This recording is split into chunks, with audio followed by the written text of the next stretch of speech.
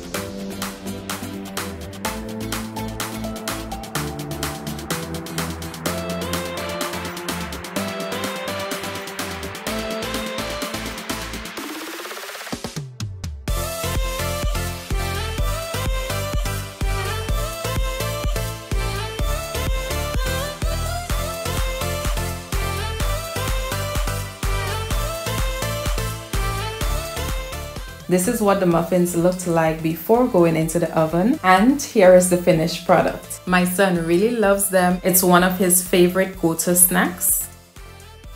Hopefully this video gave you some inspiration for food ideas for your little one. If you enjoyed seeing the process, go ahead and give it a big thumbs up. Consider subscribing if you're new. Become a part of the Cake Vlog family.